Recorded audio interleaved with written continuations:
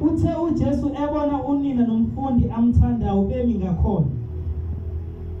Wathi kunina mame bheka indodana yakho. Kunephathi engiyithandayo ukuthi yakho. According to izwi lenkosi umuntu wesifazane umele ibandla. Jesus. umuntu wesilisa umele izulu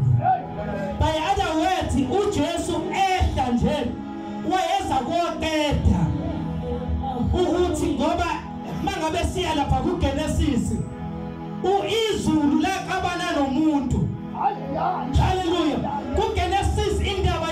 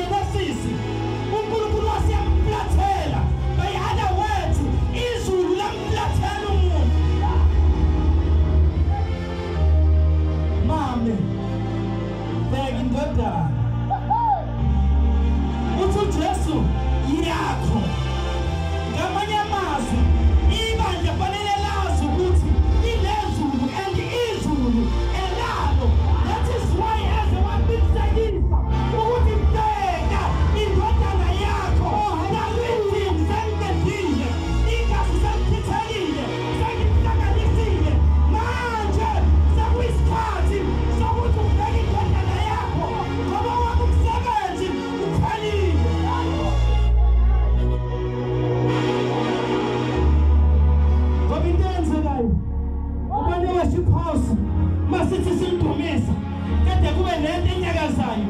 Isizathu esenza lokho ingoba suke sesibheka yena. Ngesikhathi silibheka izingobe lethu mase kuba khona izinto enyakazayo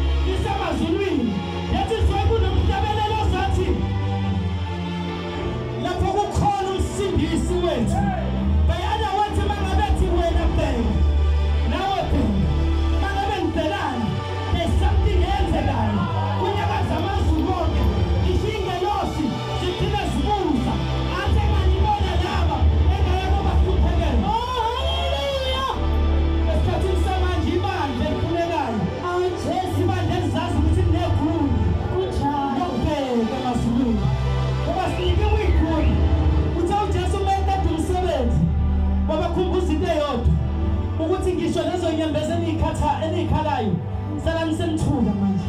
Ngoba into athe meyibuka ngesikhathi eqeda ebuka indodana wabona ukuthi no ihluphekile. Wathi ubuka umama wabona ukuthi uhluphekile wasiyamkhumbuza ukuthi khumbula into eyodwa ukuthi ukube bekuya ngambe ngengiphe nesiphambano kepha ngenxa yokuthi wena lapha kugenesis nihlukanile nobaba izulu alisakwazi ukuthi libheke.